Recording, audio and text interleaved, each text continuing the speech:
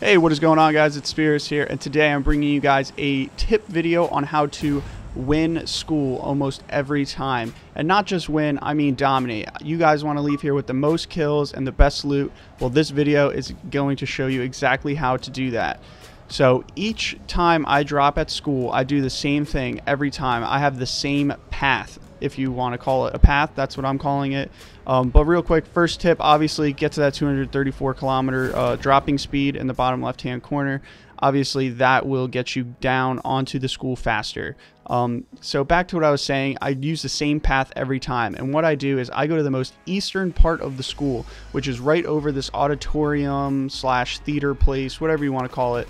Uh, a lot of people avoid the roof altogether because they think that there's no loot up there or they're going to get killed and they think that they're going to get guns faster by going going below. And that is just simply not the case. As you can see here, this guy got an M16. He's an auditorium a little bit before me. I was man I managed to grab the pistol, take him out. I did grab the vest. Obviously, vests are absolutely huge off the start of the round.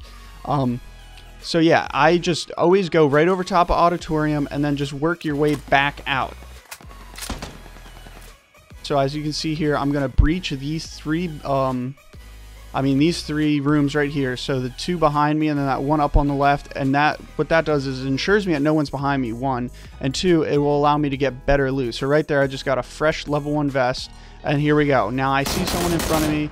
I'm always leaning when I shoot for the most part. You'll never catch me shooting without a lean. I think it's super crucial to do that as well. That's a hu another huge, huge tip. Obviously, keep your health at 100. Um, use what you think is necessary. When looting bodies, make it extremely, extremely quick. Don't do it for too long. Like right there, I would even say that was too long. I just, I have a headset so I can hear when people are coming. Um, Obviously, keep the corners as much as possible. I saw that guy down the hallway, so I kind of took myself backwards, re-peeked, and then took him out. Um, another thing is knowing your um, knowing your weapons. What weapons work best for you and what weapons work best for you at close quarters. For me, shotguns are good, um, but I'm not the best with the shotgun, and I miss shots consistently, I guess I would say. I don't consistently hit my shots with the shotgun, and so therefore I rather have a submachine gun that I can put on full auto, whether it be the Uzi or the Thompson. Um, not everyone is great at shotguns, so if you're not good with them, don't get discouraged. Um, but also don't get baited. As you can see here, I heard a silenced pistol shot and I could hear where it was coming from. I knew what room it was in. And as soon as I walked in there, he was waiting there for me. So people do like to bait in school a lot, which brings my next point be a highly aggressive player. Look for the people that are sitting and camping and use your crosses. This is what I consider a cross. The school is a U-shaped building, so you are able to look across into the rooms where the people might be camping. So if you think you hear someone and they're not on the first floor, go ahead and try to come in from the out. I mean, try to look from the roof I heard that guy over there and I heard him pop that smoke grenade. So I knew where he was. I went to the roof. I used my crosses. I got the angle on him. He couldn't even see me. It was perfect. Here, again, I hear the person above me. I'm not sure exactly where they are. He makes the fatal mistake of reloading his weapon, and that like confirms it for me exactly where he's at. I know he's right in here. I just heard him reload, and bam. Easy as that. Six kills right off of school every time, guaranteed. Right here, again, I get the gun first. I'm landing right over top of the auditorium. This guy knows he's in trouble. He's like, I'm out of here. See you later. Jumps. Um, also, as you guys can tell, it's laggy right off the start. So if you guys have like an Xbox One and your textures don't load, or you have Xbox One S and your textures don't load, I heard some people are having trouble with that. I would not really suggest going to a high octane area like this because you're not going to be able to land on the roof without falling through the building, things of that nature. I am fortunate enough to play on Xbox One X, uh, and that I think that does give me somewhat of an advantage, especially when looting right off of the bat. Um, here you can see I saw somebody see me, so I decided to pursue them. I saw they didn't have a gun. Uh, I also don't know how the heck he ate so many bullets and why I potatoed my aim so much. But anyway, I kind of broke my loot path, although the building is somewhat um, somewhat consistent floor to floor, like where the rooms are. So my loot path, while I am on a different floor, it's not that much different. Uh, you kind of always want to hoard as much ammo as you can. Coming up here in a second, I'm going to actually run out of ammo and I'm not going to be able to get a kill. I'm not quite sure why this game in particular, people were eating so many bullets, but you know, whatever, because they weren't didn't have vests on or anything like that. But Yeah, so you want to just stock up on as much ammo as possible. So if you think that you're going to use a 9 mil, make sure you have a 9 mil in your backpack. I always hoard as much 7.62 and 5.56 as I can right off the start.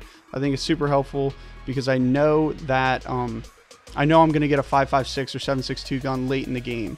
Uh, if you do know where someone is camping, it is always helpful to throw a nade in first. A, to confirm that they're in there, B to kill them, and at nothing else just make their game drop frames. Everyone knows the game the frames just absolutely tank on Xbox when there ever is a Molotov or a grenade or anything like that. So just toss a grenade in there. If it doesn't get them, it will at least throw them off. Again, as you can see here, this is my third game. I'm going to get six kills again. Uh, I drop right into the auditorium. I work my way up. I'm getting my shotguns, whatever guns I can get my hands on. I always, if I find more than one shotgun, I always pick them up because reloading the pump action is awful and reloading the double barrel is also, it's just awful. I don't like the double barrel very much. I'm, like I said, I'm not very good with shotguns. I happen to this game get all my kills with the shotguns, but it happens to be an S12K, which is a little bit different since it's semi-automatic, so I am able to rapid fire. My biggest tip for dropping school is to use your ears.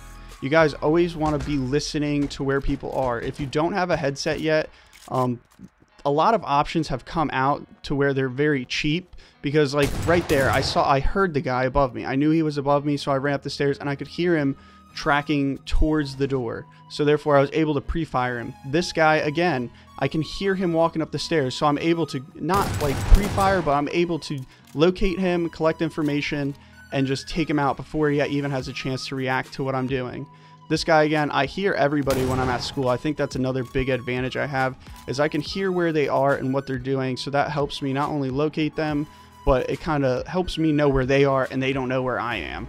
Um, anyway, if you guys like this video, don't forget to like, comment, subscribe. Thank you guys for showing so much love.